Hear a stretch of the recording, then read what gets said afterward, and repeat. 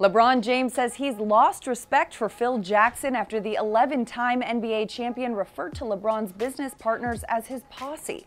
In an interview with ESPN's Jackie MacMullan, Jackson described the discipline Pat Riley instilled in Miami, saying, quote, You can't hold up the whole team because you and your mom and your posse want to spend an extra night in Cleveland.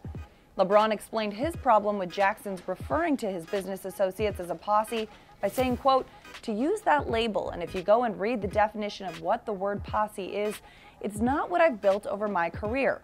I believe the only reason he used that word is because it's young African Americans trying to make a difference.